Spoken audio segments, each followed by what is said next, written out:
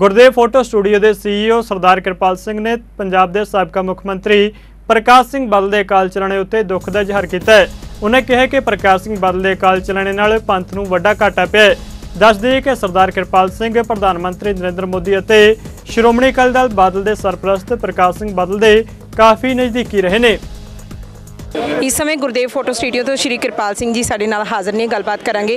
ਕਿਉਂਕਿ ਜਦੋਂ ਅੱਜ ਇੱਥੇ ਦੁੱਖ ਦੀ ਘੜੀ ਦੇ ਵਿੱਚ ਸਰਦਾਰ ਪ੍ਰਕਾਸ਼ ਸਿੰਘ ਬਾਦਲ ਜੀ ਨੂੰ ਆਪਣੇ ਸ਼ਰਧਾ ਦੇ ਫੁੱਲ ਭੇਟਾ ਕਰਨ ਲਈ ਦੇਸ਼ ਦੇ ਪ੍ਰਧਾਨ ਮੰਤਰੀ ਪਹੁੰਚਦੇ ਨੇ ਤੇ ਆਪ ਇਹਨਾਂ ਨੂੰ ਕਿਰਪਾਲ ਸਿੰਘ ਜੀ ਹੁਣਾਂ ਨੂੰ ਆ ਕੇ ਮਿਲਦੇ ਨੇ।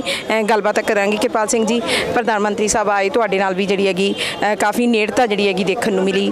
ਔਰ ਸਰਦਾਰ ਪ੍ਰਕਾਸ਼ ਸਿੰਘ ਬਾਦਲ ਬੇਸ਼ੱਕ ਸਾਡੇ ਨਾਲ ਵਿਚਕਾਰ ਅੱਜ ਸਰੀਰਕ ਤੌਰ ਤੇ ਨਹੀਂ ਹੈ, ਪਰ ਕਿਹੜੀਆਂ ਜਿਹੜੀਆਂ ਚੀਜ਼ਾਂ ਨੇ ਜਿਹੜੀਆਂ ਤੁਹਾਨੂੰ ਅੱਜ ਅ, ਲੱਗਦਾ ਹੈ ਕਿ ਤੁਹਾਡੇ ਨਾਲ ਜਿਹੜੀਆਂ ਨਿੱਜੀ ਤੌਰ ਤੇ ਸੀ ਚਾਹੇ ਉਹ ਕਿਸੇ ਵੀ ਤਰੀਕੇ ਦੀਆਂ ਜਿਹੜੀਆਂ ਯਾਦ ਰਹੀਆਂ ਹੁਣ ਤੁਹਾਨੂੰ ਪ੍ਰਭਾਵਿਤ ਕਰ ਰਹੀਆਂ ਨੇ।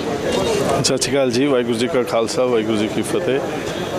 ਬੜਾ ਅੱਛਾ ਹੈ ਜੀ ਮੈਨੂੰ ਬੱਚਿਆਂ ਵਾਂਗ ਪਿਆਰ ਕਰਦੇ ਸਨ ਜੀ ਬਾਦਲ ਸਾਹਿਬ।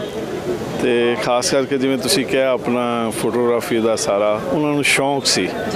ਅੱਛੀਆਂ ਕੋਈ ਪੇਂਟਿੰਗਸ ਜਾਂ ਹੋਰ ਫਰੇਮਿੰਗ ਜਦੋਂ ਵੀ ਉਹਨਾਂ ਦਾ ਕੋਈ ਦਿਲ ਹੁੰਦਾ ਸੀ ਮੈਨੂੰ ਸਪੈਸ਼ਲ ਫੋਨ ਕਰਦੇ ਸਨ ਵੀ ਐ ਥੋੜਾ ਜਾਂ ਕਿਸੇ ਨੂੰ ਕਹਿਣਾ ਵੀ ਉੱਥੋਂ ਜਾਓ ਉੱਥੋਂ ਬਣਾਓ।